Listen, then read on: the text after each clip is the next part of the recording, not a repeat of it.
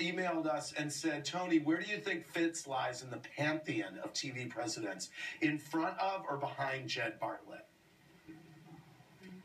Wow, I was I was going to say Zeus in the Right, you know right. presidents, but Right. Jed Bartlet. I mean, Martin Sheen is. Uh, I, I can't even compete with that. That Well, guy's. uh, um, You're more sexed up than Okay. Martin Sheen was. I'll take that. Yeah. yeah. Right? yeah. Yeah. Okay.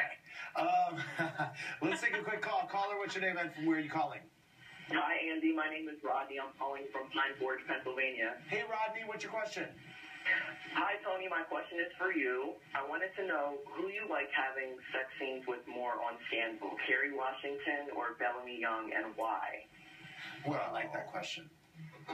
My sex scenes with Bellamy are very dysfunctional. Yes. And they're very sad. So I love Bellamy. I think she's beautiful. But my sex scenes with Kerry are f***ing hot. Yes. Game time, everybody. Uh, the Super Bowl is this weekend. I really only watch for